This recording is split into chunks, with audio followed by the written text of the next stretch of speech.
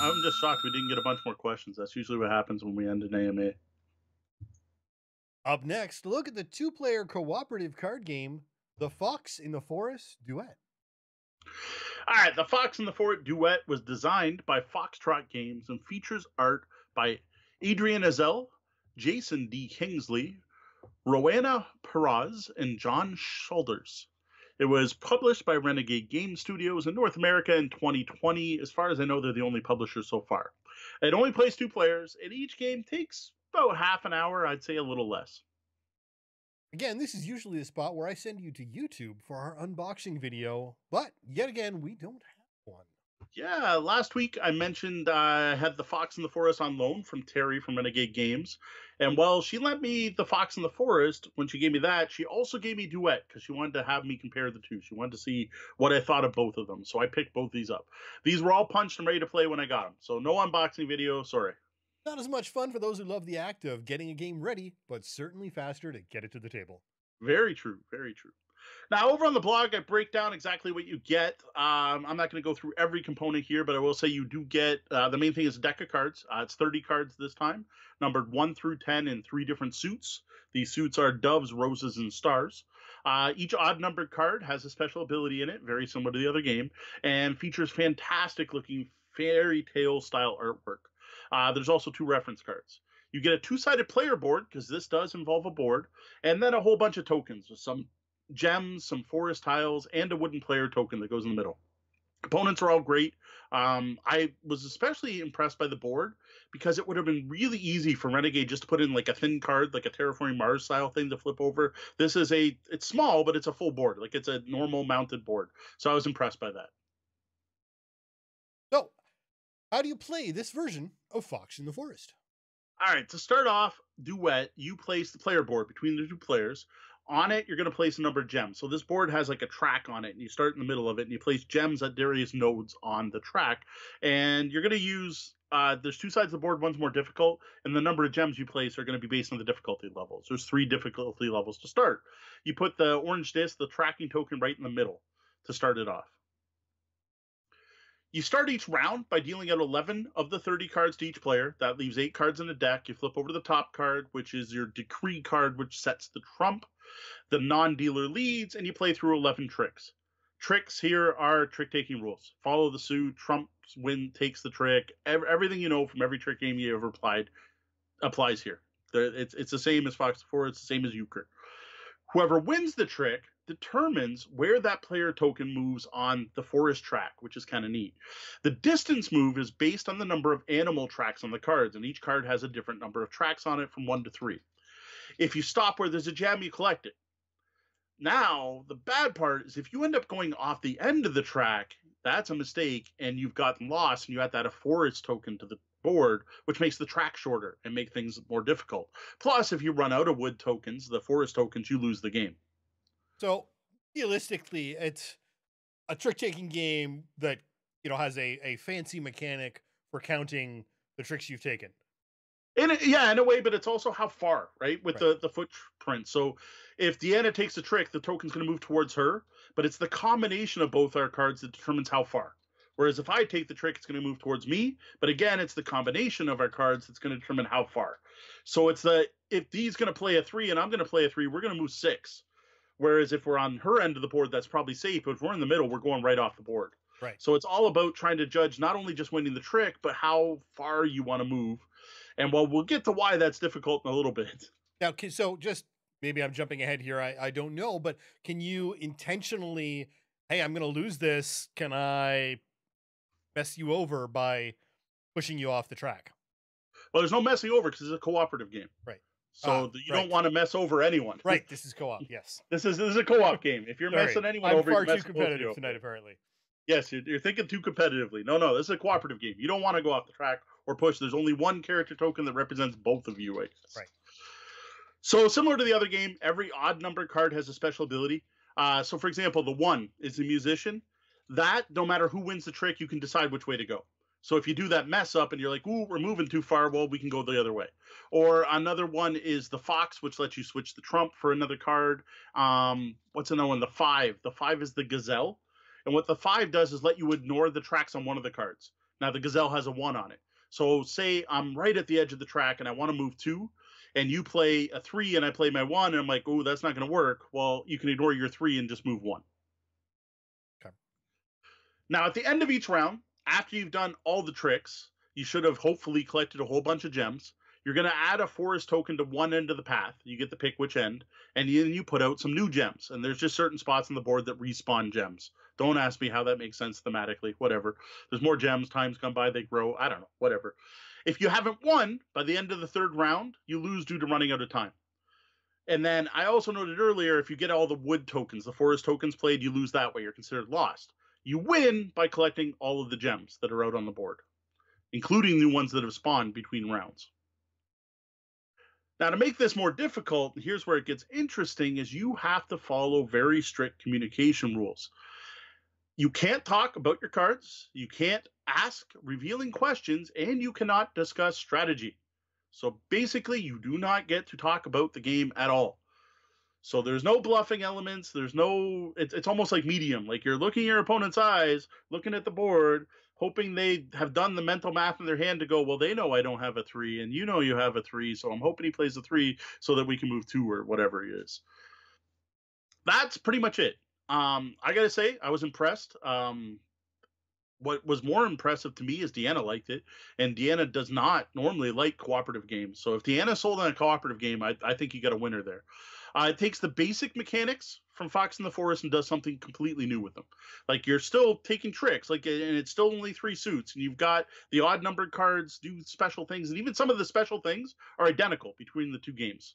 Uh, but the new combination of card powers and the whole moving on the track with the central board is just brilliant. Like it just works really well. Like again, I, I was blown away by Fox in the Forest. Oh wow, I have a trick taking game that works two players.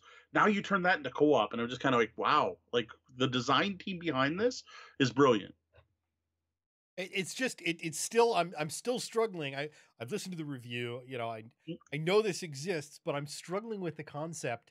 Uh, so I'm wondering if, if listeners are as well. The concept of a trick taking co-op. I mean, yep trick taking is competitive. That's what it is.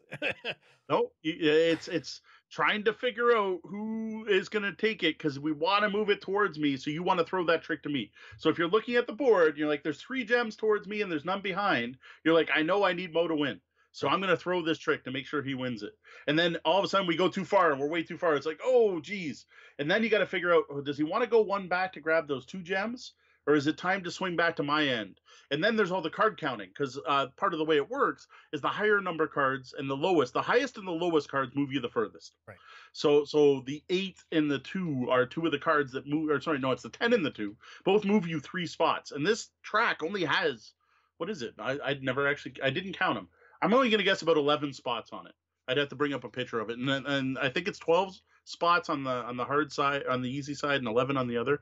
So it's a lot of trying to figure out what you're what what who's doing what, like what your opponent's thinking, and trying to do some card counting. It, it's definitely a, a unique way to think of it. Yeah, 11, now, 11 is what I see on on the, 11? On the one picture. Okay and you start basically in the middle. So once you start leaning towards one way, it's hard to go back sometimes, and you right. basically have to throw a trick to go back the other way. And like we tried a few strategies, we tried trying to like just one, two, three it and try to grab every one. And we found overall we seem to do way better by like running down one end of the path and running back the other way, and then running back and then running back, and then trying to pick up the ones that are left seem to go a little better for us. But uh, there definitely are different strategies. Oh, so the B side actually has one less space. Yes. Yeah but it also has different symbols on the spaces. It's how many gems. So if ah. you're playing on easy, you play on the A side. If you're playing on medium, you play on the B side and you're filling gems where there's squares. If you play on hard, you also fill where there's diamonds. Okay. So it's just how many gems you're trying to collect. Now, what I did not like about this game are those communication rules. Like, I get it. Like, the game wouldn't work if you could talk. Like it, would just be too easy. It'd be like, well, we got to come back this way, obviously. So you have to lose this trick. Here, I played an eight. Like it, it just wouldn't work. Like it, it wouldn't work as a game. Like it'd just be too simple. So I get it. You have to restrict communication. If you if you were allowed to talk, it just wouldn't work. But the thing is, I play two player games with Deanna, and this is the kind of game we would break out on a date night, right? Whether we're at home or at a pub or at a cafe, we're going out and like on a date night, I want to interact with my date. I want to sit and chat with my wife and have fun while playing. I don't want to sit in silence playing cards and moving little things and maybe going, "Oh, like that's even going, "Oh, you're giving something away." Where you're like, "Oh, you obviously didn't expect me to play that." Right? So yes, you could talk about other things. Like we could be like, "Oh, so what'd you do on the weekend? Are you liking Vikings on Netflix? Should we watch the next season? Whatever." But the problem is, this is a thinky game. Like this is a heavier game, and it's rather engaging. So you can't really talk about other things because if you're talking about other things, you're distracting the player because there's no time where you're both not playing.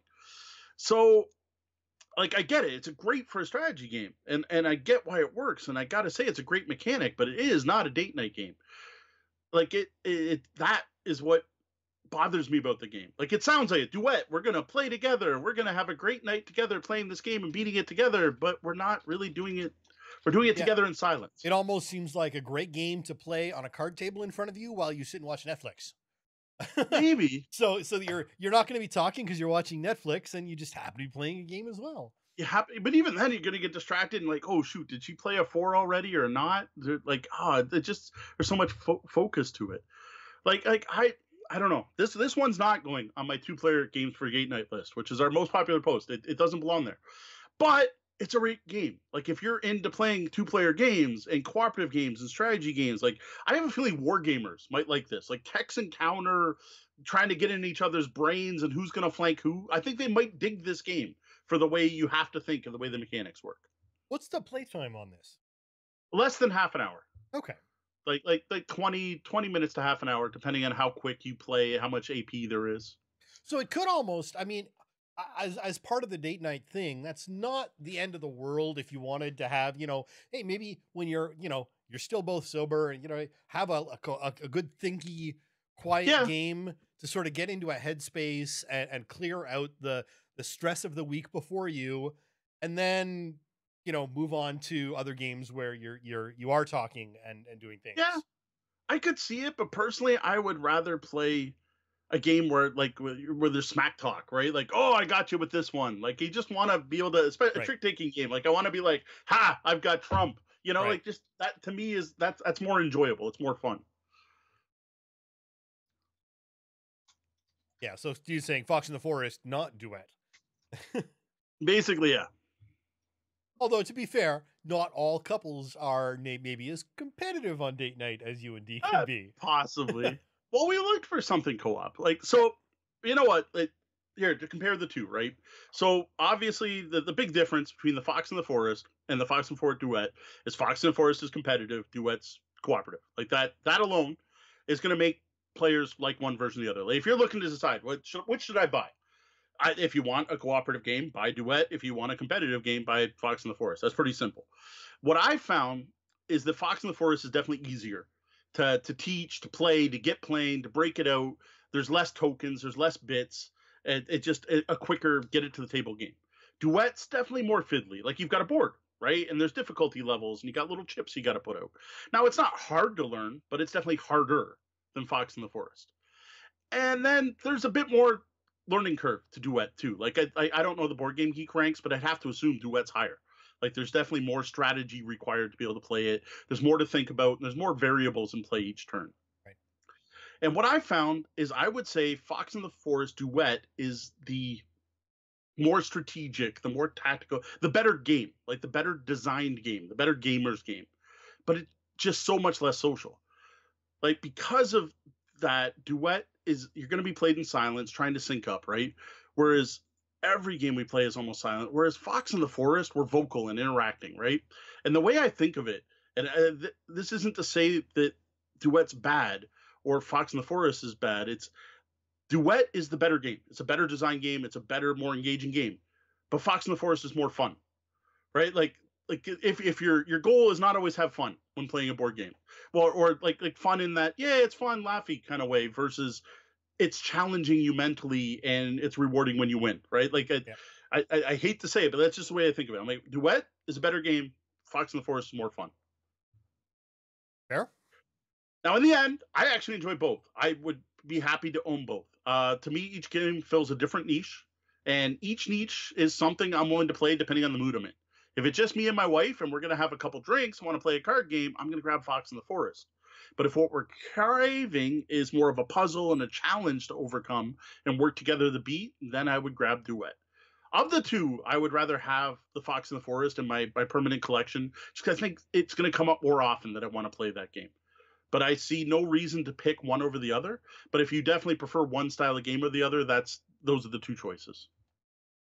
All right. Well, for a slightly more in depth look at the Fox in the Forest duet, you can head over to tabletopbellhop.com and click on reviews.